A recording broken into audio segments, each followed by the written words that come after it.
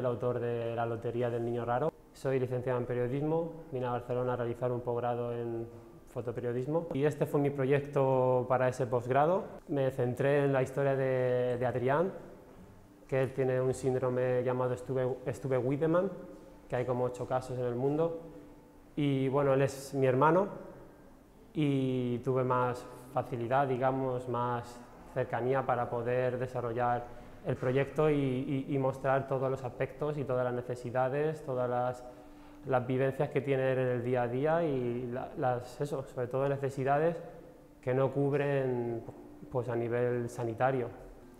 Mi hermano es un poco, digamos, tímido, eh, necesita apoyo, esté pendiente, eh, necesita apoyo para ponerse la ropa, para comer, para la higiene básica.